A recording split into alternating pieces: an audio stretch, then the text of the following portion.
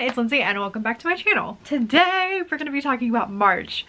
Very late, yes, but we are still going to talk about it because a lot of things still happened. And even though I'm a little bit behind schedule, we keep pushing on. If you're new to my little coffee chat wrap-up videos, this is just where I tell you about my month, all of the bookish and authorly things that I did, all of the reading, and all of the fun little life things and we just kind of chat. You tell me about your month and I tell you about mine. So March, how was everyone's March? Was it super long for you guys the way it was for me? Actually, I actually have quite a few writing things to chat about this month. So I think I'm gonna go ahead and dive right in. But don't forget to let me know how your month went, some of the amazing books you read, the writing accomplishments that you just smashed. Let me know all of that down in the comments.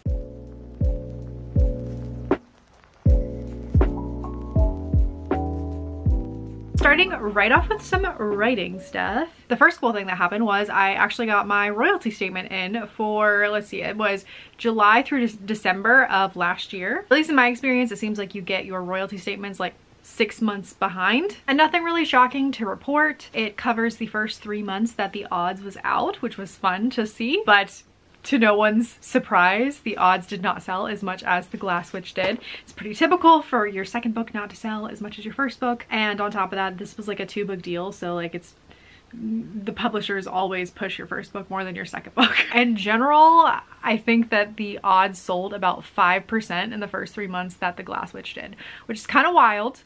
Kind of wild, but not unsurprising. I do wish there was more of a push because I think The Odds is my superior book in a lot of ways.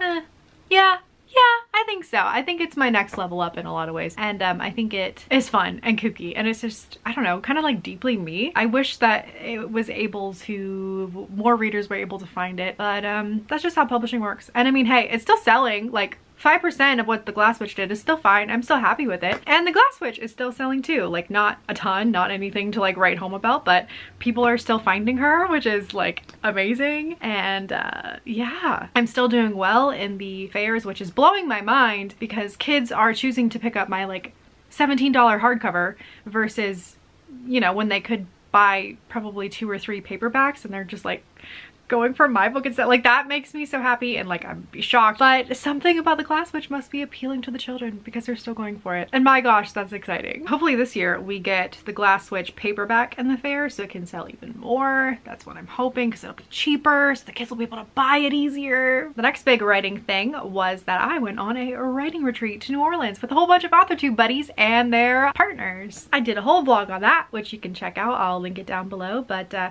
yeah, we wrote during the day and we explored at night. Went to like a vampire speakeasy, like voodoo shops. We went on a swamp tour, a jazz cruise. Like there was so much fun activities on this trip. And it was great to catch up with everyone, you know, that you only get to see like once a year. So now let's talk specifically about the projects that I worked on this month. So my main project right now is Bitter Bones. This is my middle grade horror novel that I am writing. It deals with uh, creepy dolls and crappy parents and kind of like exploring disability through body horror. It's a fun time. Every time I tell someone in my real life, like they're like, what are you writing now?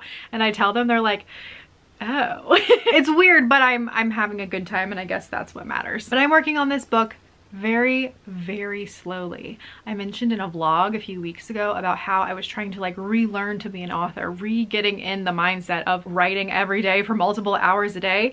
In February, I was really busy with a lot of other author projects and uh, that really ate into my writing time. So I just got out of the practice of writing a lot during the day. And that's been something I'm still struggling with like we're halfway through April and I'm still just like really working to find that author writing and author administration stuff balance. My happy place is writing like four hours a day and then admin the other part of my working day. I'm getting about half of that honestly right now. So we're gonna keep working on it and we're gonna get back up to where we normally are. It's just like a very slow thing because uh, yeah, my body's like, why? Why do we have to do this? We didn't have to do this last week. The other project that I worked on this month is something that I am calling Crimson Girls. This is a YA gothic horror that's kind of like Crimson Peak meets Count of Monte Cristo, but like make it gay. And I've been fiddle farting around with this book. Uh, nothing serious, just kind of like, you know, getting it in my brain. I want to work on it during NaNoWriMo this year. And so I'm just like in the wheels turning. And I had an idea for an opening and it was like really boring and I was like, like if I picked up a book and it started like this, like I don't even know if I would get through the first chapter. Uh, but it's all I had for now and I hadn't spent a lot of time brainstorming. And at the same time, one of my critique partners was like, hey, I'm struggling with my opening too. Why don't we have a call where we can do some exercises and try to like weasel out better openings? And I was like, sure. Well, that call went so well for me because I now have such a fun, exciting, creepy, horror opening that I am just like so excited for. Because now I'm like if I read a book with this kind of opening I would just be like oh I can't wait to turn the page to start chapter two.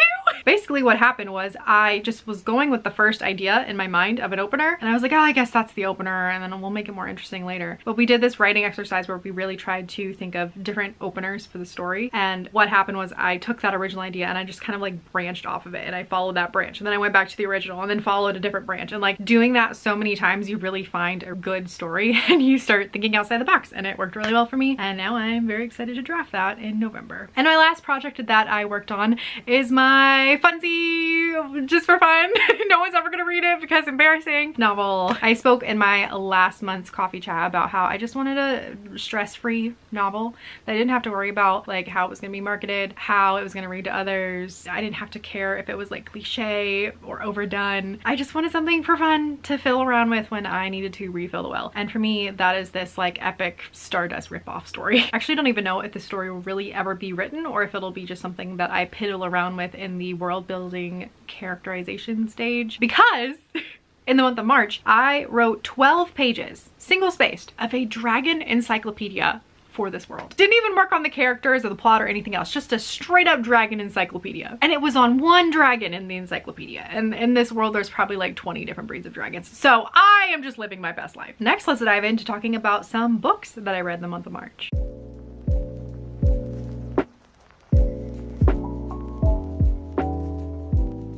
In March, I read 10 books. I also participated in two readathons. So the first one is the TBR Takedownathon that's hosted by Jessica Williamson, where you just get like a bingo board full of prompts uh, to read down your TBR. I did pretty good if I do say so myself. Also, it was helped by me doing my own personal readathon. Uh, no one else was involved. It was just me and my notebook. We were the only ones that knew about it. But it is something that I called genreathon. And the idea for this was that my Goodreads TBR is like my huge exhaustive TBR, right? To be read pile. This is where every book that I'm interested in reading ever is on there. Right now I'm around like 200 or so books and I work really hard to make sure I'm reading the books off of that list. I also have a Google Sheets doc where I take all of those books on the Goodreads TBR and I separate them out into age categories and genres so I just kind of know like, oh, I'm in the mood for a middle grade sci-fi. Let me see what I have on my Goodreads TBR and I can kind of sort it that way easier. What tends to happen though is that certain genres and age categories get a little bit more full, a little bit more congested than others. And sometimes when I'm not in the mood to read those types of books for a few months on end, but I'm still seeing books and uh, seeing new announcements for books that are in that genre. And I'm like, oh yeah, when I'm in the mood, I do want to read that.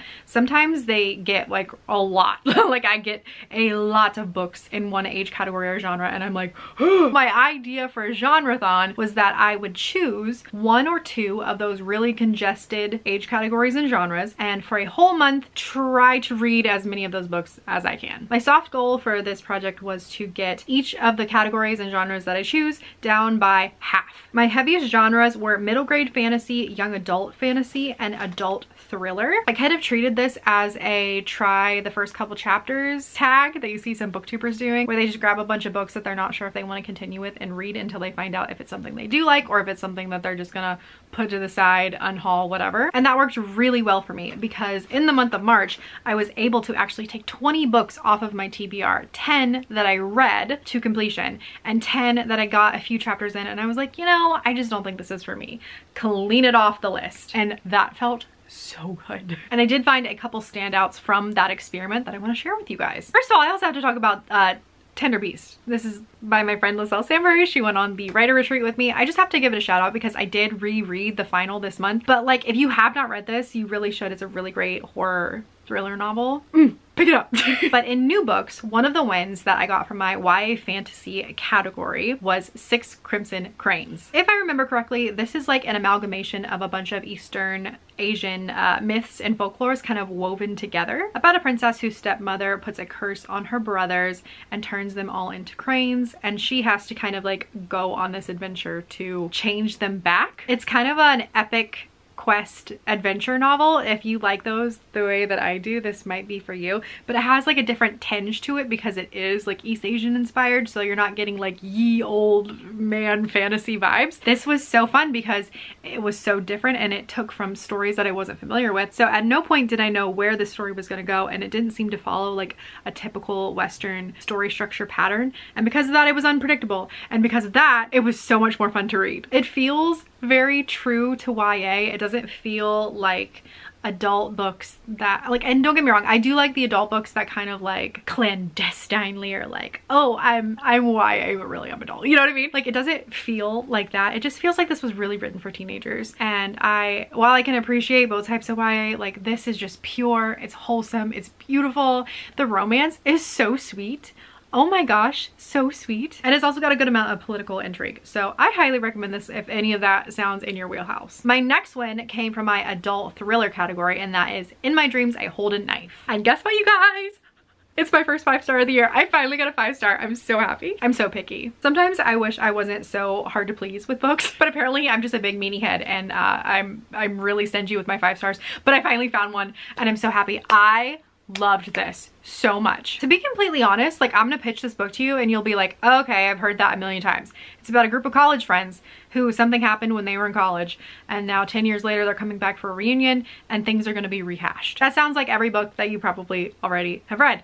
However, this one was just so good for me because it was like perfectly to my taste. I love messy friendships, messy relationships. It's one of my favorite things to explore. I love unlikable characters who are messy, messy, messy, like so, like bad people. I like bad people having bad relationships with their bad friends. It's one of my favorite things to read in books. I think it's because I've been blessed by having a really drama-free life. So there's nothing going on in my life. So I love reading about people who have everything going on in their life. You know what I mean? love the drama.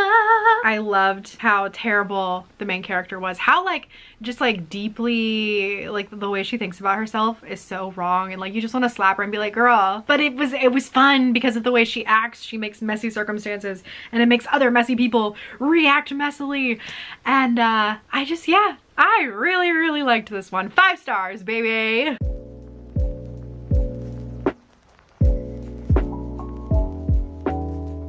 And now let's quickly talk about some life stuff. I don't actually have that much to talk about uh, in this section because most of my life was the writing stuff and trying to get my writing life together. But there was a situation where my computer died and I couldn't write for a week. And in that week I discovered this thing, this thing that literally no one's heard about. Mm, and I got obsessed and it's called Dungeons and Dragons. I got obsessed. I got absolutely obsessed with Dungeons and Dragons. I just thought it was like a board game and I was like, oh, that sounds fun. It's something I'd be into. It's fantasy. But I knew that there were like a lot of rules. So I was just intimidated. And then I didn't have my computer for a week. So I was like, well, if I'm going to learn something kind of intensive, like why not do it when I can't work for a week? And, and I did. And I am obsessed. It's basically writing, it's collaborative storytelling. And I didn't know that. If I had known that, I would have been obsessed with it so much quicker. There are so many tools that people who play Dungeons and Dragons use to create their characters and create their stories and create their worlds that writers do as well. Like there's so much overlap and I had no idea. And I went into it hardcore because it's just basically world and character building. And uh, you know? It's in a ye old fantasy world. It's in an old white man fantasy world. So like you don't have to worry about your your tropes your cliches. You just have a good time. And i think i've showed this before but i i my, made a little character. She's a grandma and garden gnome. She's she's a forest gnome and she's a little ranger and she just wants to go out on adventures because she didn't get to when she was younger because she was busy taking care of her apiary and all of her grandkids and and tending to her farm. And then all of a sudden she's like i'm like 400 years old and i never went on my adventure. Gosh darn darn it. I better get started.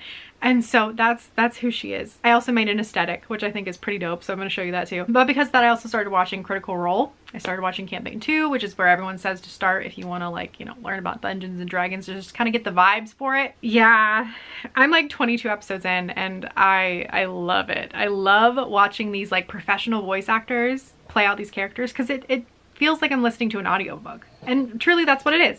If Dungeons and Dragons is collaborative storytelling, then listening to people play, especially professional voice actors play, is in fact consuming an audiobook. Okay, and very last thing, kind of rolling off of the whole dragon thing. You guys know I'm in my 3D printed dragon era and I got my last two dragons in. No more! No more. I'm on like a toy buying band. Like no more Squishmallows right now, no more 3D printed dragons. Like you gotta get your life together, Lens. but I wanna show you this little fella does not have a name yet. So if you'd like to drop a themed name in the comments, I would really appreciate it. But this is a little tiny Easter bunny dragon. Look at the ears. Oh my gosh, and look at how tiny it is.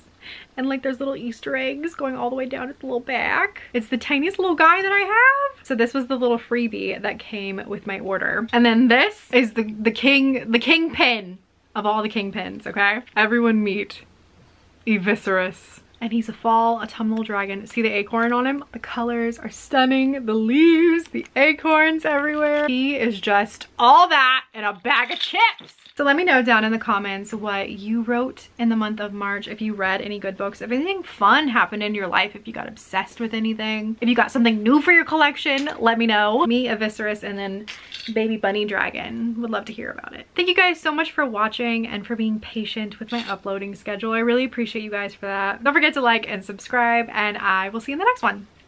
Bye.